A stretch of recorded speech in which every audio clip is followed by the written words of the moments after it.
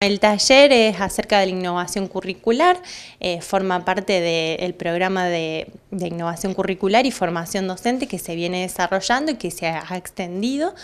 Eh, y bueno, y en esta oportunidad la idea es que este taller sea un espacio de formación para acompañar esta tercera fase de innovación curricular que, que, estamos desarrollando, eh, que implica puntualmente las propuestas innovadoras. ¿Qué propuestas se van a empezar a hacer a estos currículos? que ya los revisamos y que ahora, bueno, la idea es a ver qué cambios parciales, totales y demás se pueden empezar a realizar.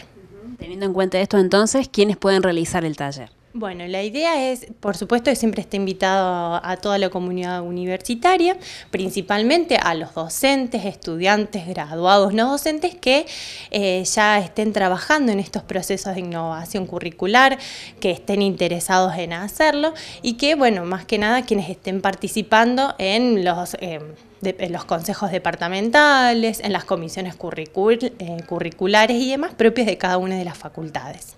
¿Cómo se estará estructurando? ¿Cuál será la modalidad de trabajo? La modalidad de trabajo, la idea es que, bueno, la jornada va a ser de dos días, el jueves 19 y el, 20, y el viernes 20 de septiembre.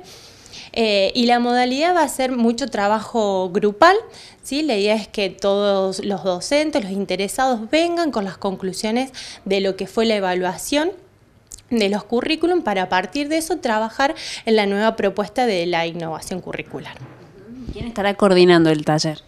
Bueno, va a venir una profe, una invitada de otra universidad que se llama Silvia Bernatene y también desde acá, desde Secretaría Académica. Por último, María Luisa, eh, ¿se están realizando inscripciones? ¿Hay algún requisito previo para completar? Sí, ya nosotros hemos, las inscripciones van a ser a través de un formulario de Google, como se hace generalmente, y en la página de la universidad ya hemos subido el slider, en donde ahí también se puede acceder al programa de este curso, y ahí se incluye el, link para eh, ir hasta el formulario de inscripción.